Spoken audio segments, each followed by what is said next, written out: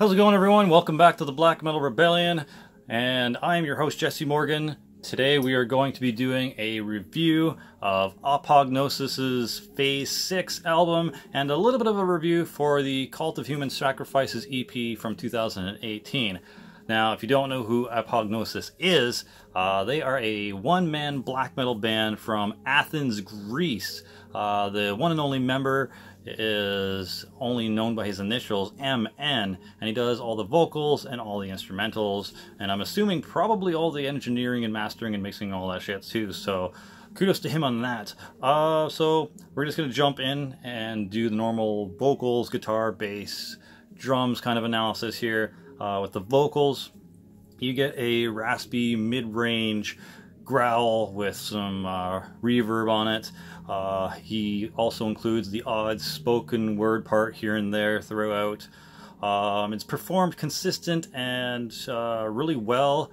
He has a kind of a mid-high mix with the vocals, kind of on par with the guitars. And uh, yeah, it's, it's pretty good stuff.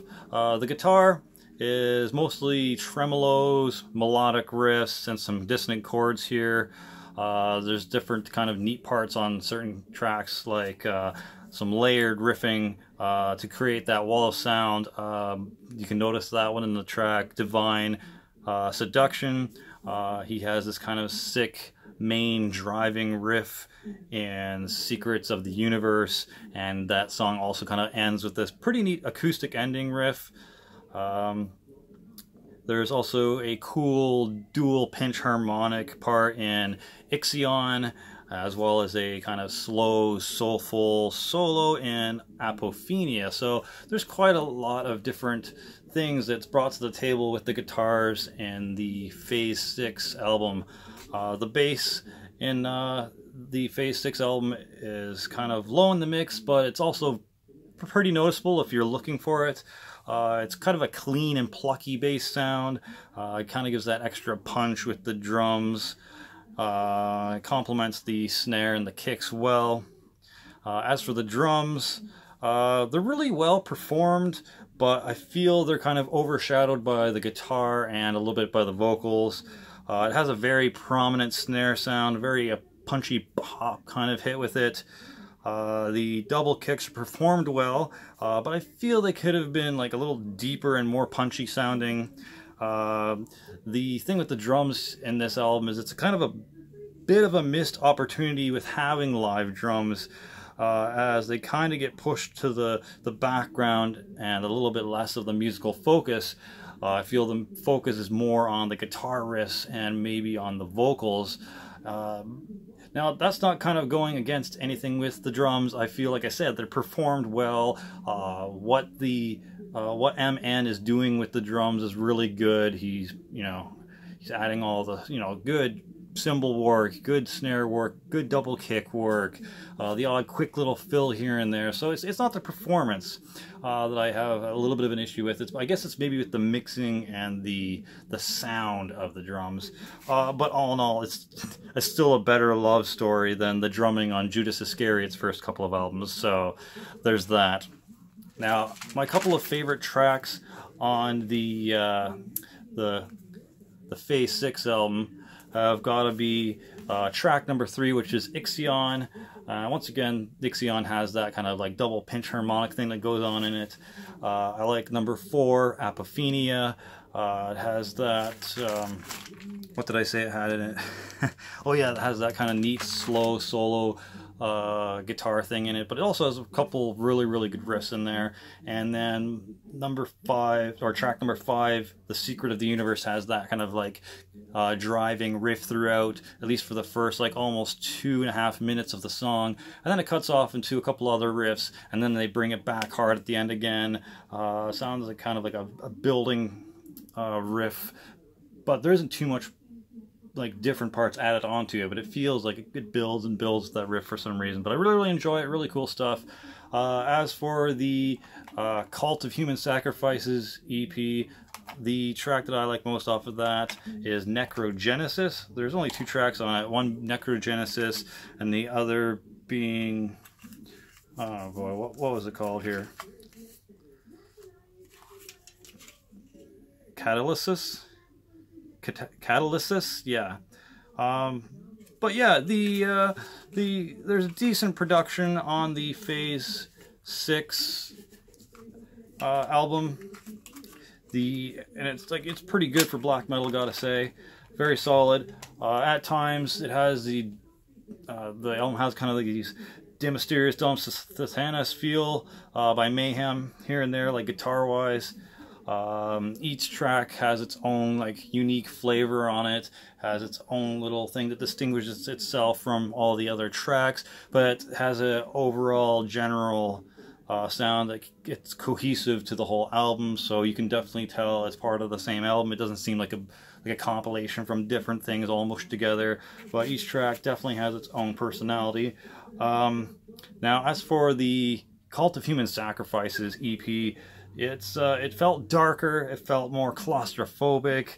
The EP's production went a little more lo-fi, a little muddier, and it uh, its vocals had a little more like gravelly, throaty sound to them, and it just overall had a sense of sinister urgency. It was a lot more evil than Phase Six, and it was basically a haunting, anxious experience in general.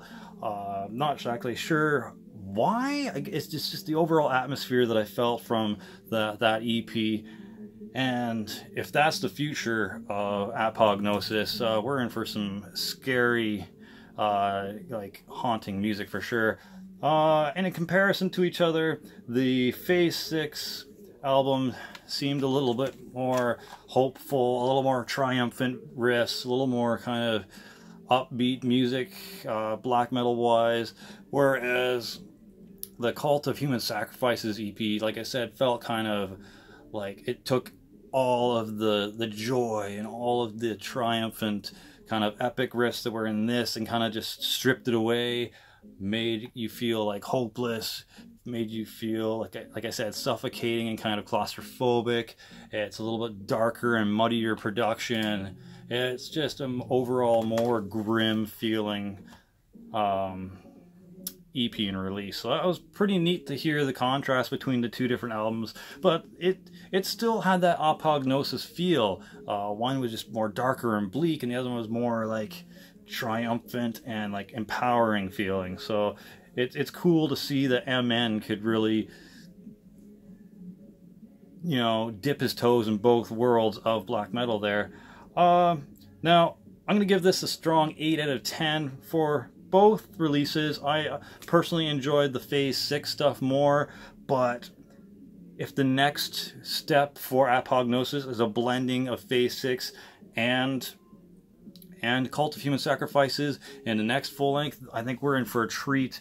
Now, the only improvements that I could see that could possibly be put towards this uh, this, these couple of releases are maybe make make an equal amount of focus mixing wise on the drums because like I said I would, I'd love to hear the, the double kicks a little bit more um, maybe a quieter more consistent snare volume because at points the one like kind of uh, snare crack seemed a little bit louder than everything else but then other times it kind of like got buried in the mix uh, even of like the drums in general. So maybe a more consistent drum mixing sound um, and don't get me wrong, once again, the, the way the drums were performed, excellent. I'm just kind of critiquing the, the mix and the way it sounded uh, with everything else thrown in there. So, like, kudos to your performance on the drums. You know how to fucking play them, obviously, dude. So, kudos to you.